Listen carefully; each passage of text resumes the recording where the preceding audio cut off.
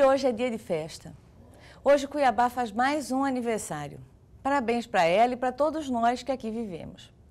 Mas me diz uma coisa: você sabe o que quer dizer cuiabania? De uns tempos para cá, esse termo extrapolou seu contexto semântico e ganhou outros contextos. Cuiabania, ao contrário da ideia de alguns, não é composta por um grupo de pessoas nascidas em Cuiabá e pertencentes a famílias tradicionais excluídas do poder e decadentes. Não é nada disso. Até esse conceito de famílias tradicionais excluídas do poder decadente é coisa de, de, de quem não tem o que fazer. Primeiro, que não me agrada essa distinção entre nascidos aqui ou não. Meu pai, por exemplo, não nasceu aqui, é paulista. Costumo dizer que meu pai veio na primeira leva de pau rodado que chegou aqui e se adaptou a esta cidade e aos costumes cuiabanos dos nascidos aqui. Tenho amigos como Chico e Vânia, ele paulista, ela carioca, que fazem também parte da cuiabania. O carioca Eduardo conhece mais da cultura que eu própria, que nasci aqui.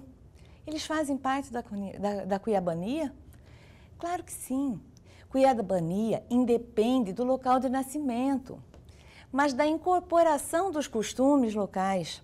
Isso não quer dizer que eu preciso amar o cururu ou renegar a cultura de origem. De forma alguma.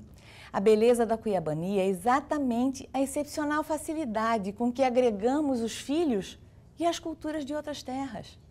Certa vez, fui perguntada sobre o que considerava tradicional aqui, o guaraná ralado ou chimarrão. Que coisa mais boba! A cerveja é de origem alemã e nem por isso deixamos de incorporar a nossa cultura. O futebol foi inventado na Inglaterra e hoje o Brasil é o país do futebol. Devíamos ter tido preconceito quando trouxeram eles para cá? Hum, imagina viver sem a cervejinha nesse calor de Cuiabá.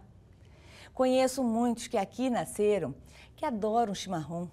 E também conheço os que para cá vieram, como meu pai, que não passa um dia sem tomar seu guaranazinho ralado com as três águas e um mexidinho.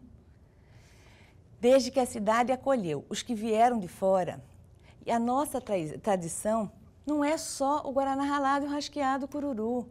A cultura e a tradição de um povo, ela vai se transformando, mesmo que lentamente, ao longo do tempo. Sofre influência e isso é muito bom. O importante é entender a beleza de seus costumes para que gerações futuras possam saber de sua origem, da origem de onde vieram. Daqui a um tempo, isso tudo vai estar mesclado, rasqueado, vaneirão, guaraná ralado e chimarrão. E aos que são contra isso afirmam: lamentavelmente vocês não vão ter como conter esse avanço. É impossível impedir. E eu, particularmente, acho tudo isso muito lindo. Portanto, Cuiabania é um modo, costume, gosto e, acima de tudo, a incrível facilidade de agregar outros povos. Cuiabania é estado de espírito.